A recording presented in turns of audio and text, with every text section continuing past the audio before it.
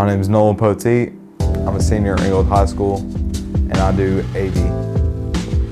I joined it because I thought it was very interesting how people could create videos and stuff and just make it look amazing. So that's what I want to do and I want to strive to you know, do my best.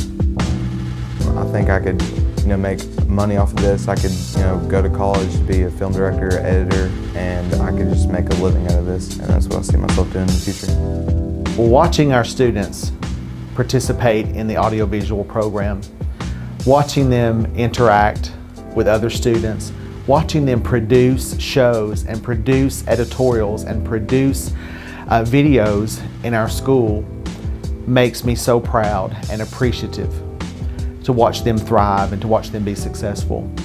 And I can't say thank you enough for the CRE grant from our legislators and from our state board. I want to say thank you. It has made a difference in our school and our school culture. And it's giving our kids a real world experience. Thank you.